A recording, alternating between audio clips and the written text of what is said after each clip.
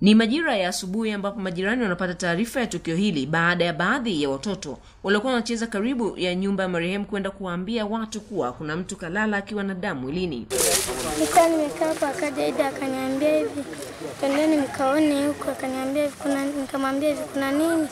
Akaniambia hivi, twende huku babu, kamwone jirani amekufa. Ndio tukaja tukachungulia.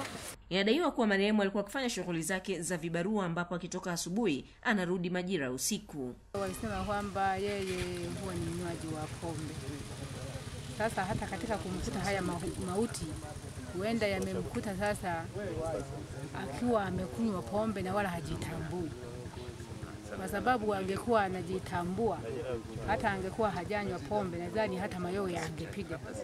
Majirani na mama mzazi wa marehemu Elizabeth John wamesema kwamba marehemu alikuwa ni mpole na wameishi naye vizuri hadi umauti unamkuta. Marehemu kwa mtizamo wa, wa kwa kukaa na watu walikuwa anakaa hivyo hivyo, maana yeye akitoka kwenye pombe zake anakuja anaingia ndani kwake anapika anakula analala, kesho anaenda kwenye shughuli zake hivyo hivyo. Kwa kweli hatuwezi kujua tabia, siwezi nikaelezea tabia yake kwa hivi ilikuwa labda mbaya au ni ikoje. Kusema na ubaya na watu alikuwa hana. Alikuwa mpole, mtu wa kunywa vizuri tu anaenda nyumbani. Sasa sijui ni sababu gani mpaka wakamfuata ndani kumpiga mpaka kuua na kuburuzia nje. Kata ya Nyankumbu inadaiwa kuwa na matukio ya kihalifu ya mara kwa mara. imekuwa sasa imezidi, kwa sababu kila kunapokucha inaweza kapita siku mbili tatu, kasikia mtu kavamiwa au mtu au mtu kakutwa amekufa, kavamiwa nyumbani kwake, kauliwa.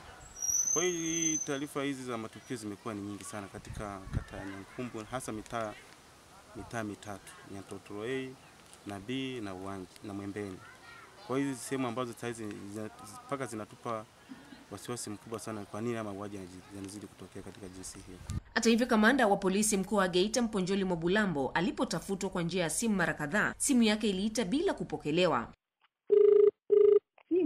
Unayoipigia haipokelewi kwa sasa. Tafadhali jaribu tena baadaye. Salma Mrisho, Star TV, Geita.